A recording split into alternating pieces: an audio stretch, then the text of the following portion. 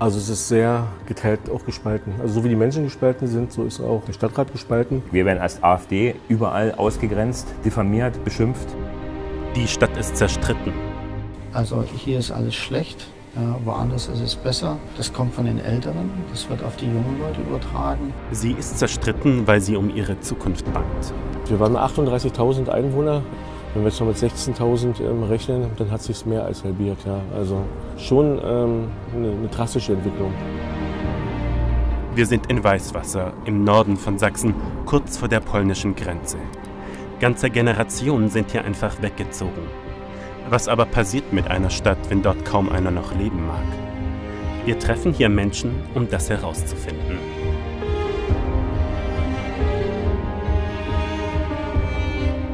Auf dieser Baustelle werden Wohnungen nicht gebaut, sie werden abgerissen. Es gibt einfach zu viele hier in Weißwasser oder zu wenig Menschen, je nachdem. Woanders wird gebaut, ne, in Deutschland, ähm, da ist der Wohnraum knapp und hier ist der Wohnraum da. Wie finden Sie das, dass hier die Zurückgebaut Stockwerke wird? zurückgebaut wird? Ich meine, Weißwasser wird nicht wieder so groß, wie es mal war. Ja. So, und was soll's? Soll das leer stehen? Das kostet bloß alles. Manchmal fühlt es sich hier so an, als ob die Stadt mit den Nachwirkungen einer weit zurückliegenden Naturkatastrophe zu kämpfen hätte. Nur hat es die nie gegeben. Es sind noch immer die Folgen der Wende, die der Stadt das Leben rauben. Thorsten Pötsch ist der Oberbürgermeister von Weißwasser. Das Problem war eben auch, dass die Menschen eben keine Arbeit hatten und dadurch der Arbeit hinterhergegangen sind und gezogen sind und äh, neue Perspektiven gesucht haben. Und auch die Menschen, die dann danach gekommen sind, denen hat man zu wenig gezeigt, was es für Möglichkeiten in der Region gibt. Noch immer steht fast jede fünfte Wohnung in der Stadt leer. Dabei wurde schon so viel abgerissen. Auf das Projekt hier ist der Bürgermeister stolz. Bei der Platte werden nur zwei Stockwerke abgetragen, der Rest darf erstmal stehen bleiben. Noch vor ein paar Jahren ist man viel radikaler vorgegangen. Jetzt sind wir schon in der Südstadt mittendrin, also in der ehemaligen. Jetzt braucht man sehr viel Fantasie. Hier standen Hochhäuser, hier dahinter Elfgeschosse. Ähm, hier war alles bebaut, Schulen, Kindergärten. Heute steht von der Südstadt nur noch das Einkaufszentrum. Der Rest wurde Anfang der 2000er abgerissen. Dabei war das Stadtviertel erst zur Wende fertiggestellt worden. Jetzt hat die Natur wieder übernommen. Wir besuchen Lutz Buschmann in seiner Praxis. Wie es um eine Stadt steht, bekommen Ärzte besonders gut mit. Es geht los. Er ist Gefäßspezialist und weiß wohl besser als jeder andere, wie es um die medizinische Versorgung der Stadt steht. Wenn in dem Land Sachsen der Hausarzt im Durchschnitt etwa 1000 Patienten im Quartal macht, liegt der Durchschnitt hier in dieser Region deutlich höher. Also der liegt bei 1600, 1800. 1990 war das Durchschnittsalter in Weißwasser 38, heute ist es über 50. Und nicht nur die Patienten werden älter, auch die Ärzte selbst. Und so gibt es immer weniger von ihnen. Von den zwölf Hausärzten in Weißwasser sind die meisten über 60. Auch ich werde nächstes Jahr 60 Jahre alt und äh, ich mache mir schon mal auch Sorgen um mich selbst. Wer wird mein Hausarzt, wenn ich äh, hier in den Ruhestand trete und auch diverse Erkrankungen bekomme? Das Land Sachsen bietet Ärzten inzwischen 100.000 Euro, wenn sie sich in der Region niederlassen. Aber selbst dieses Angebot hat bisher kaum einen angelockt. Junge Leute kommen kaum hierher an die Region und dann ist es eher schwieriger. Bereitet Ihnen das Sorge? Ja, natürlich. Lutz Buschmann meint, die immer schlechtere Versorgung hier könnte für die Menschen zu einem ernstzunehmenden Risiko werden. Eine große Ausnahme und deshalb eine große Hoffnung für Weißwasser ist Bruno Seiler. Er will unbedingt Arzt werden und zwar hier in Weißwasser. Ich bin hier auch zum Gimmi gegangen, also auf die Schule. Ähm, ja, ich bin sehr heimatverbunden. Äh, ich mag die Region hier und ich bin, wenn man das so sagen darf, bin ein ziemliches Dorfkind. Das Problem nur, in Deutschland hat er keine Chance auf einen Studienplatz für Medizin. Mein Schnitt wird nicht ganz passen, weil für Medizin braucht man ja 1,0. Doch die Not ist so groß, dass man erfinderisch geworden ist. Bruno Seiler kann jetzt doch Medizin studieren. Nicht in Deutschland, aber an einer Privatuni in Ungarn. Und Sachsen übernimmt die Kosten. Ein Auslandsstipendium für künftige Landärzte. Einen Studienplatz in Deutschland darf die Landesregierung ihm nicht anbieten, so will es das Unisystem. Wir fahren weiter. Wir wollen wissen, wie es um die Wirtschaft steht in der Region.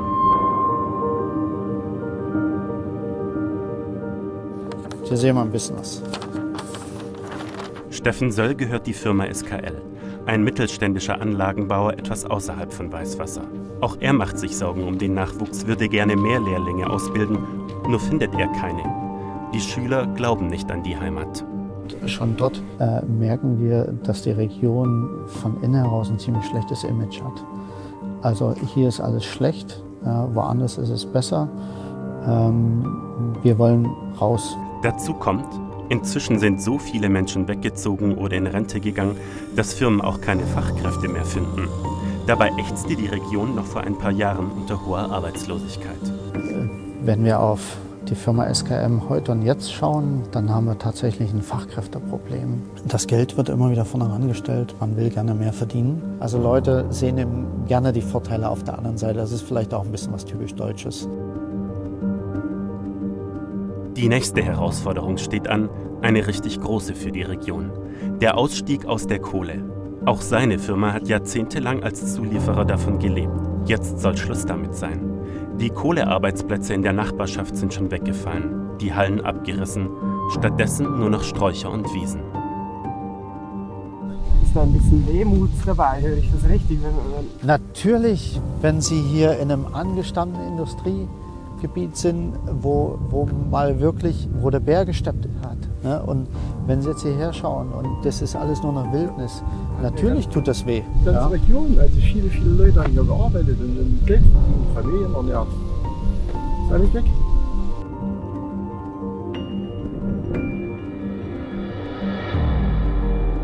Jetzt gibt es hier viel leeren Raum, der dringend neue Ideen sucht. Zu DDR-Zeiten hat man hier komplett von der Kohle gelebt. Seitdem sind Jahr für Jahr mehr Arbeitsplätze weggefallen. Und jetzt das endgültige Aus für die Kohle 2038.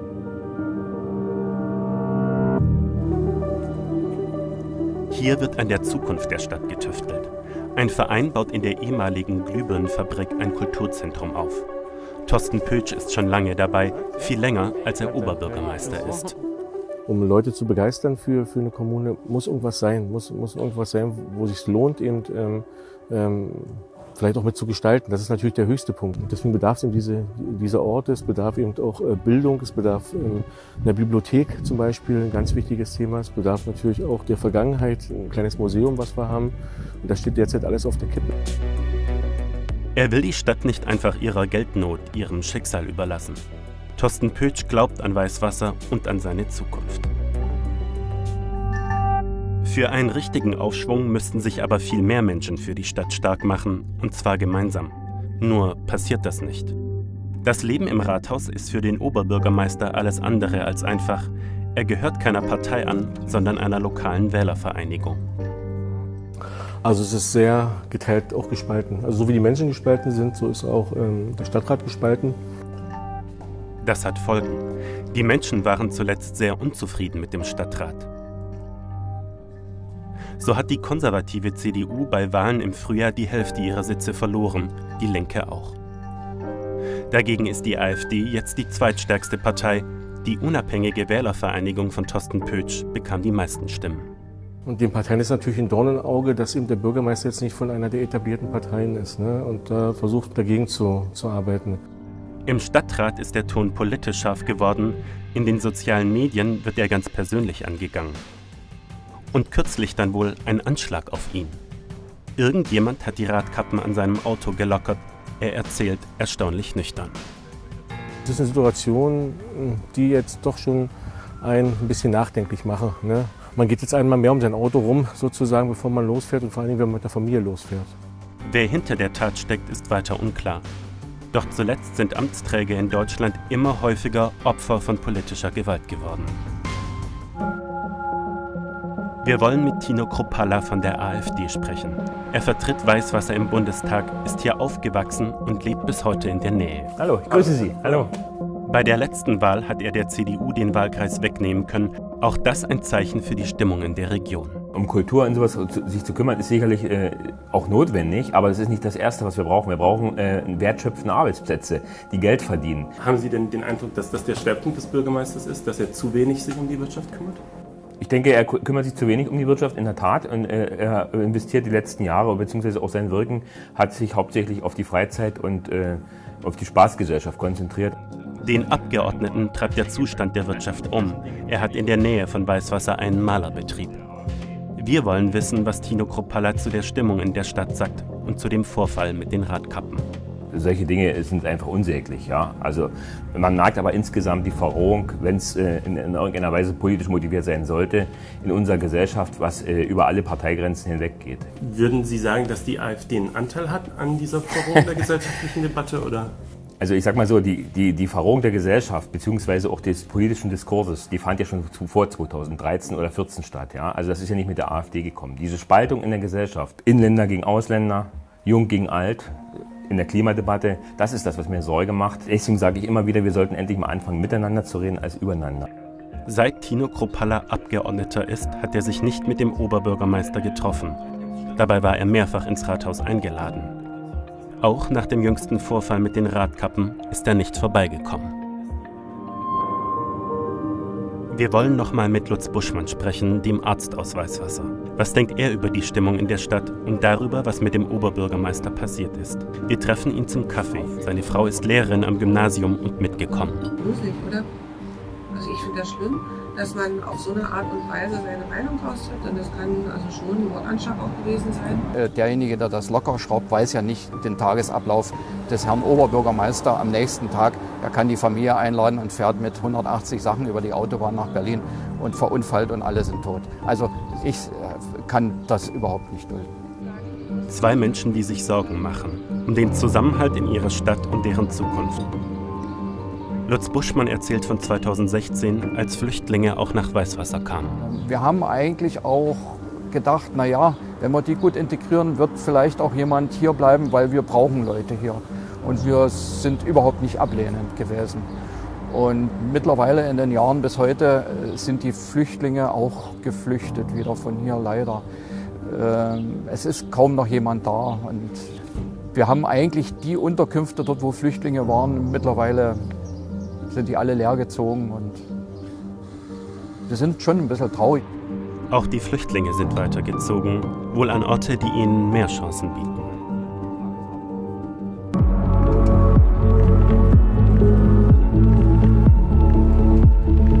Bei allen unseren Begegnungen fällt uns eins auf. Der Redebedarf hier in Weißwasser ist groß.